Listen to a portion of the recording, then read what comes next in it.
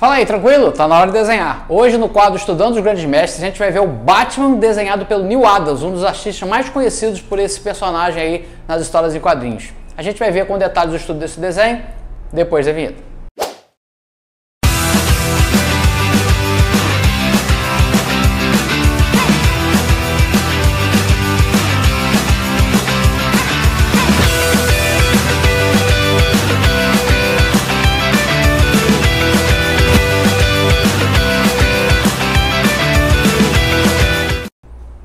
Então vamos lá, pessoal. Começando aqui com o meu sketchbook. Estou trabalhando hoje no sketchbook da Canson, que é um papel um pouco mais texturado do que eu normalmente utilizo. E para modelo aqui do estudo, a gente vai usar esse gibizinho, essa capa do Batman. Com certeza você já viu essa imagem é, é, em algum lugar, uma imagem bem famosa do, do, Batman desenhado pelo Neil Adams. E a gente vai tentar, é, principalmente, estudar o jeito que ele desenha escorço o que, é escorço? Muita gente me pergunta. É o encurtamento do corpo quando está em perspectiva. Então, esse encurtamento que a figura fica, parece que é pequena, mas na verdade é a perspectiva aqui da figura. Vamos começar, como sempre, aqui com o lápis azul. É, o lápis azul trabalhando os volumes iniciais. Sem preocupação com uh, detalhes.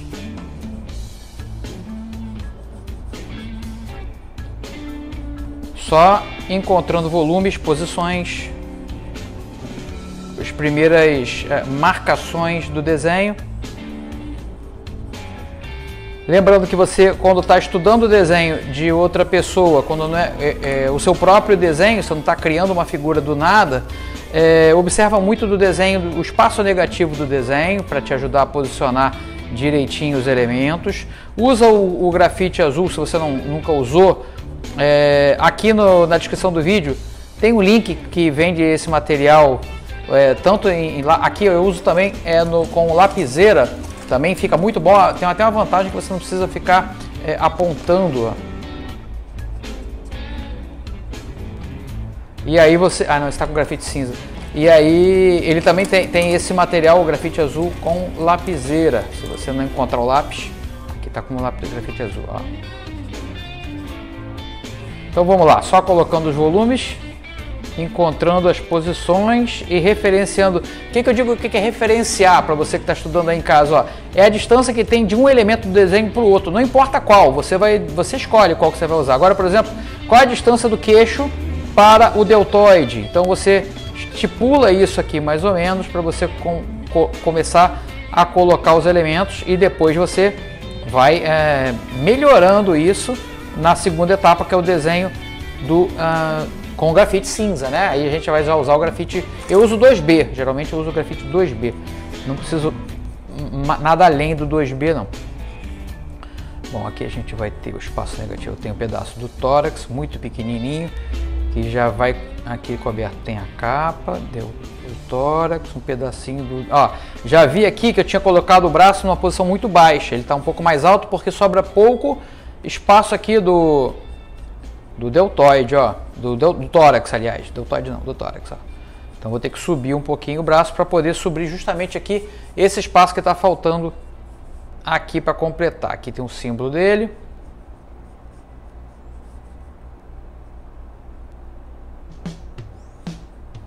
Aqui tem outro deltoide que rapidamente se esconde atrás do tórax e logo sai a outra mão e essa mão a gente vai usar aqui o espaço negativo. Tem um pedaço da capa aqui. E o dedo quase vai encostar aqui no antebraço, ó. Vamos fazer logo o antebraço. Posicionar ele mais ou menos aqui para a gente já colocar os dedos da mão aqui, ó. Ainda de maneira bem incipiente. Aqui eu vou ter o movimento da capa, que vai sair para cá. A capa não vai caber todo no desenho, mas não tem problema, que o original também não cabe.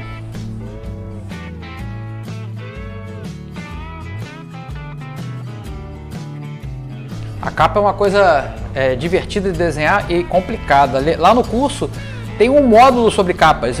É porque tão, tem tantas variações de capa, tipo de capa. Eu botei lá, por exemplo, eu inventei algumas nomenclaturas, tipo capa diabólica, capa tradicional, capa má, má vários tipos de capa, né? Que acabam é, contribuem com a personalidade do, do, do personagem, né?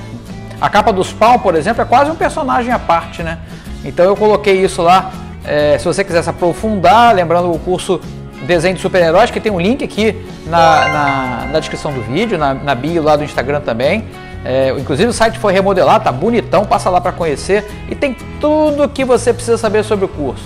Mas eu gosto sempre de falar, é um curso mega completo, acesso vitalício, ou seja, você vai pagar uma vez só, mas o acesso é para sempre. Você pode assistir as aulas, ver e rever sempre que quiser, tá bom? Então, tá assistindo o vídeo, gostou do meu, da minha didática, gosta do jeito que eu explico as coisas, quer se aprofundar e ter acesso a recursos que vão fazer você criar seus próprios personagens ou fazer desenhos como esse aqui, né? Estudar desenho, como que estudo desenho, qual é o método que eu faço para estudar desenho, então dá um pulinho lá e vem estudar desenho com a gente, vem desenhar com a gente. Você vai fazer parte também do grupo é, de apoio lá no Telegram, um grupo secreto só dos alunos, que é muito legal. Além da gente é, falar sobre desenho, compartilhar experiências, compartilha também é, os alunos compartilham os desenhos, alguns desses desenhos, inclusive, estão lá na galeria lá do, do site que eu acabei de falar.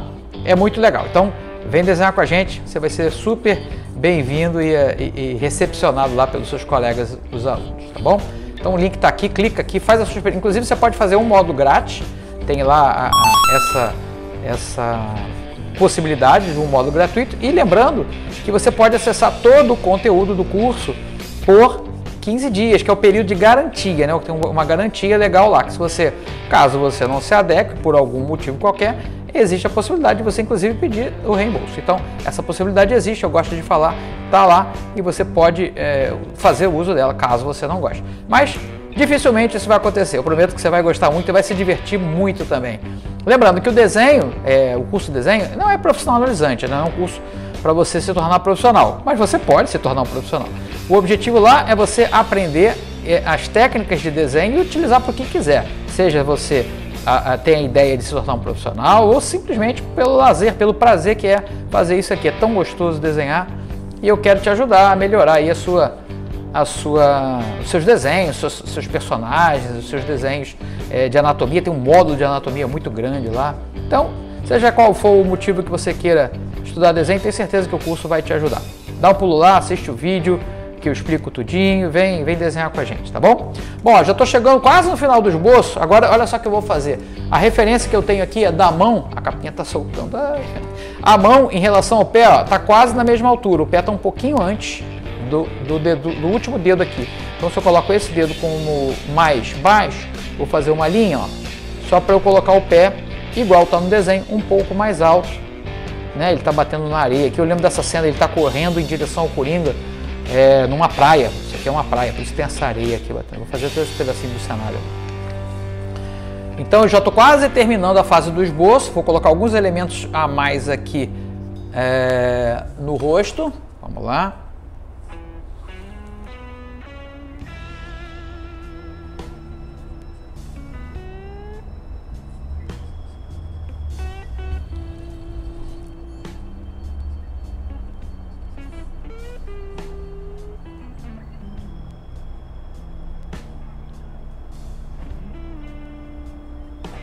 Aqui a sombra da máscara, o espaço negativo aonde a gente vai aplicar a sombra depois, né? Já coloquei o, o, o nariz, aliás, o nariz, o olho ficou um pouco baixo, deixa eu ver. Não, o nariz está um pouquinho alto. Baixar um pouquinho o nariz, depois tem uma grande sombra jogada aqui. Aqui tem um pedacinho de brilho.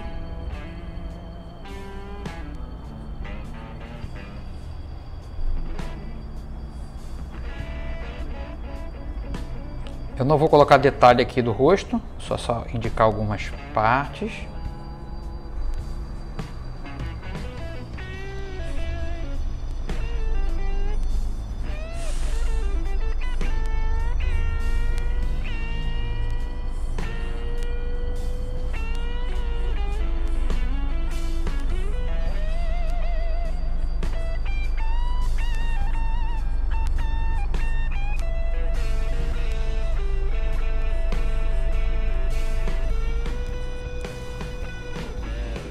Agora aqui na luva, que eu não coloquei, a indicação da luva.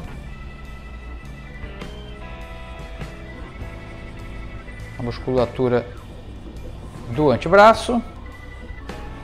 Vou indicar também os volumes do, dos dedos aqui.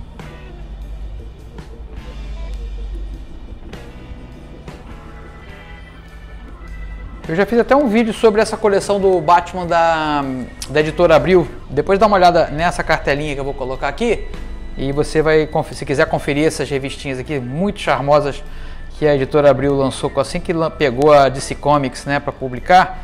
Aqui eu falo das 10 primeiras edições dessas, é, o formatinho do Batman. Muito legais, muito divertidas e tem muita história do Neil Adams aqui. A editora Abril começou bem pra caramba, selecionando boas histórias.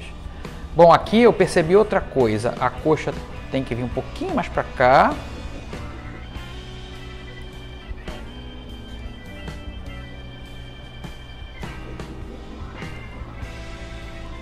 O pé um pouquinho mais para cá. Estou vendo isso, observando aqui pelo espaço negativo. E aí vai abrir uma áreazinha que não tinha aqui, ó, justamente aonde está esse, esse detalhe da luva aqui, né? Os espinhos aqui da luva.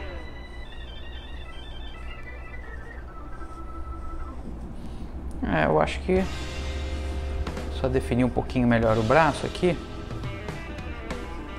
Não sei se eu vou conseguir fazer esse desenho todo agora, porque já está na hora da aula presencial aqui, eu vou ter que parar. Mas se não der, eu continuo após a aula. Vou editar, né? Vocês nem vão perceber que eu parei. Mas eu tenho que parar para dar aula aqui a presencial. A galera já está chegando aí. Eu estou aqui na sede do curso, né? Aqui, ó, o curso presencial, né? Fica aqui na, na minha cidade. Quem não mora aqui perto, então tem aí o curso online. Né? Não deixa nada, nada a desejar em relação ao, ao presencial. Beleza? Acho que agora já posso começar o desenho. Até aqui então não foi desenho, foi simplesmente marcação.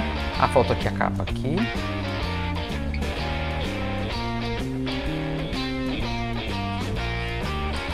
Aqui a bota. Aqui toda essa parte de sombra eu vou fazer depois, já no grafite cinza. Aqui outra brochura. Eu não sei quem é que fez a arte final, se foi... Aqui parece que é Dick Giordano. Mas a gente não vai fazer arte final, a gente vai trabalhar agora direto no grafite. Bom, Agora chegou aquela hora de dar uma acelerada no vídeo, né? Como sempre falo, aqui é, não é a aula, lá na aula, no curso não acelera, os vídeos são todos em tempo real. Aqui, como é o YouTube, ele é mais diversão, entretenimento, a gente acelera essa parte do grafite, tá? Para o resultado chegar e não passa de mágica. Mas vamos lá, agora é hora de desenhar, vou ficar quietinho aqui desenhando, vocês vão ouvindo um blues aí do fundo, daqui a pouco a gente vê como é que foi o resultado final e os comentários do desenho. O Batman pelo mestre Neil Adams. Bora lá!